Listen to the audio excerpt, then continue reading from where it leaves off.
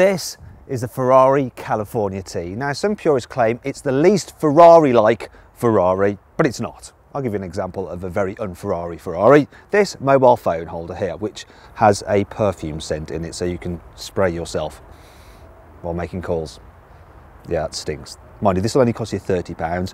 This car starts from £155,000. But this one, with all the options and everything on it, is actually 215 grand. Now, part of the reason for that is that it's the handling speciale, so that adds five and a half grand to the price tag, and that includes a matte grille, you get a matte rear diffuser and some matte exhaust. But that handling pack is just the tip of a very, very large optional extra iceberg, which when I list out some of the price of these things, you're going to be left feeling a little bit cold. So if you want the Shield Scuderia Ferrari badges on the wings, they are going to set you back £1,056. If you would like the two-tone exterior paint, it's 4,320 quid. If you want to go for the, well, the front and rear parking cameras, a snip at 4,032 pounds. I mean, things are just so expensive in this car. If you want this lovely diamond quilting leather on the seats, well, that is going to set you back Oh my gosh, that's quite expensive. It's £2,112.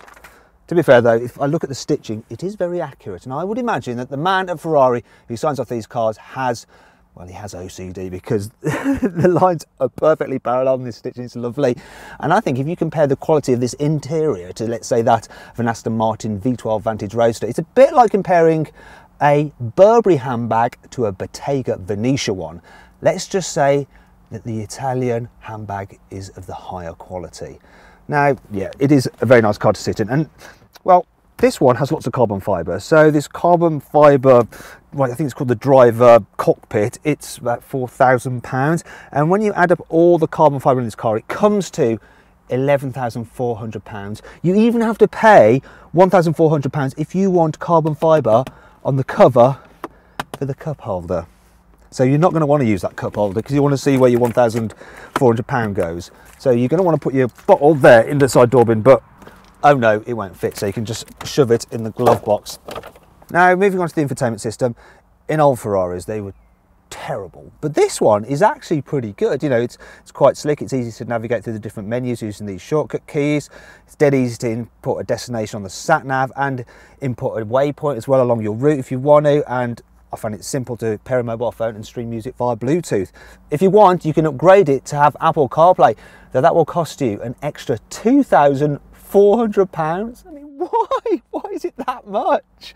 And you can't actually get Android Auto. I mean, come on, Ferrari, do you think that someone like Larry Page can't afford to buy one of your cars? Could afford to buy the whole blooming company if he wanted it. And that brings us on to practicality. You might think it's a bit odd to talk about that when we're talking about Ferraris, but this is the Ferrari you're supposed to be able to live with every day. Now I'm going to put the roof up on this car because it is a car of two halves. So you can have it as a convertible or as a coupe and it only takes 14 seconds to put this roof up as you'll see. It's a two-piece roof. It all moves very smoothly into place, nice and quick, so you don't have to wait too long because after all, time is money and you probably don't have much time if you can afford a Ferrari. Just put this window down so you can see what's going on. And I'm going to hop into the back of the car because yes, it does have some occasional rear seats. So if you absolutely have to, you could give someone a lift in the back of this Ferrari. This seat moves well forward automatically under its own steam. It is quite slow. It's the slowest thing on this car actually. I'm going to pull it back. I'm going to try and get this one out of the way. Ow, ow, it's crushed my legs. Right. Oh. Ah! Ah! I think I just I pulled a muscle in my groin. Be careful of that. So yeah, you, you could kind of give someone a lift, but you might end up damaging them somewhat. Look, there's no room at all. Um, yeah, but it is it is just about possible if you need to give someone a lift back from the airport. I don't know. And yeah, you can actually fit a child seat in the back. You've got Isofix fittings there. So anyway, I'm going to get out of the back. Oh God, that wasn't nice at all. I really do think I have pulled a muscle in my groin. Oh injured by a Ferrari. Now I thought I'd get, I have, I thought I'd be injured by a Ferrari by maybe crashing it, not getting into the back of it. Now, one of the things about the California is that it does have a decent sized boot. So I'll just put this out of the way. And you can see it is quite large. Some of it is taken up by the wind deflector. You can always get rid of that if you aren't planning on taking the roof down. and yeah, you can fit a, a, big suitcase in there. The only thing is though, look, if you are going to take the roof down, you have to have this in place, so there's far less that you can actually carry, but still, for a car that can do almost 200 miles an hour, it's not too impractical really. Speaking of which, the heart of every Ferrari is its engine. And in the case of the California T, it's a 3.9 litre twin turbo V8 with 560 horsepower. And I think the best way to start driving this car is to launch it. And it's dead easy. I just turn this switch to sport, press launch, and then floor the throttle and release the brake. And we launch, and oh my gosh! Whoa! Whoa, whoa, whoa, it's super fast! And I can't see anything. Let's have the windscreen wipers on. Ah, right. So yeah, it probably wasn't going to do the 0 to 60 in 3.6 seconds like it's supposed to because it's super slippery and this car's actually running on winter tyres. But my God. well, I think you saw that. It's blooming quick.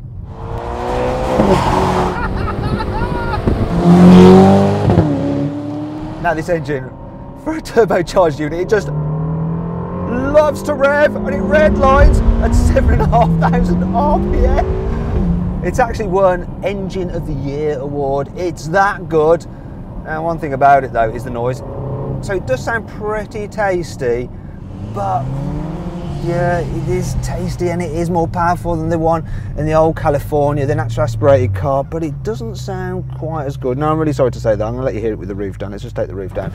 So yeah, it's not quite as good, and that does matter. You see, Kill Bill had a better storyline, than Reservoir Dogs, but Reservoir Dogs was the better movie because it had the better soundtrack. And mm, for me, that kind of rings true with the Ferrari California T.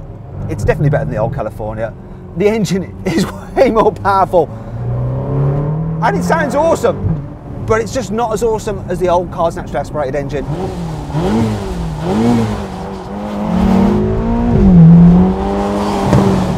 Like I said at the beginning, this car is the handling speciale, so it's got some stiffer suspension, and as a result, it handles better than the normal California, and it is generally sporty and yeah, great fun to drive. Now, some people will complain go, "Oh yeah, but the California, it doesn't drive like a proper Ferrari should," and yeah, it it won't outhandle a 488. Of course, it won't. But that's a bit like complaining that a 2013 Petrus isn't as good as a 2014. It's not but it's still pretty blooming tasty. The handling speciale also gets faster shifts from its seven speed gearbox and my god it does change gears lightning quick. I have noticed though that very very occasionally when you're bootling around down and you've got it in automatic mode and you suddenly floor the throttle and you're in comfort mode the car kind of can be found wanting. It's like oh what you want me to move? Oh okay and it's a bit hesitant but it only happens very seldomly.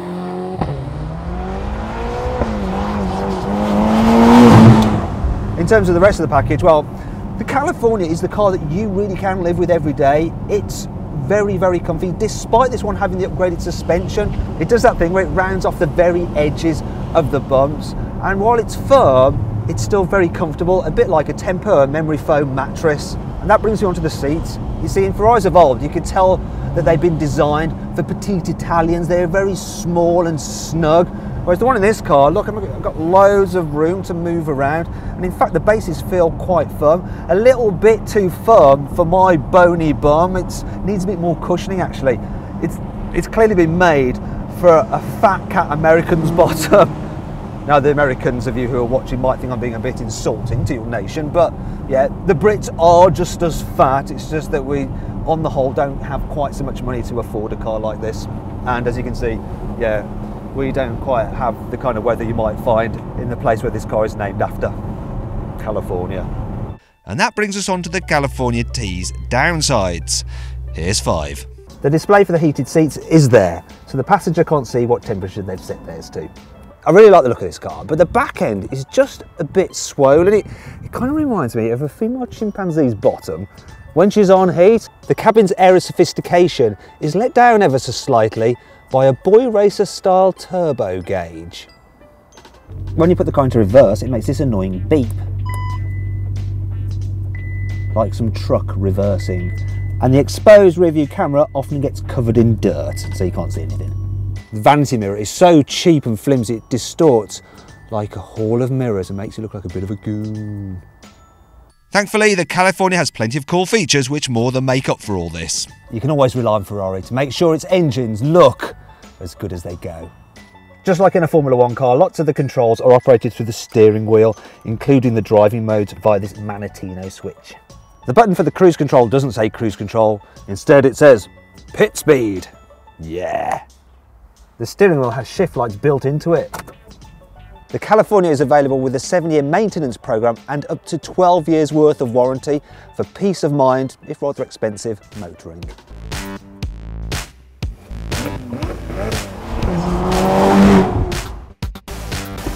So then, what's my verdict on the Ferrari California T handling speciale? Should you avoid it? Should you consider it? Should you shortlist it or should you just go right ahead and buy it? Well, I reckon you should shortlist it. It might not be the best Ferrari, but it's still a great GT car. Now, if you're thinking about buying a new car, click up there to go to carwow.co.uk to compare offers from dealers and buy at a price you're confident in. And on average, people save £3,600 on a new car through CarWow. Thanks for watching.